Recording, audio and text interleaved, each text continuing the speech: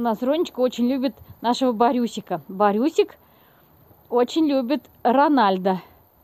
Вот так вот они играют у нас, парни. Веселятся, резвятся, что делают, господи.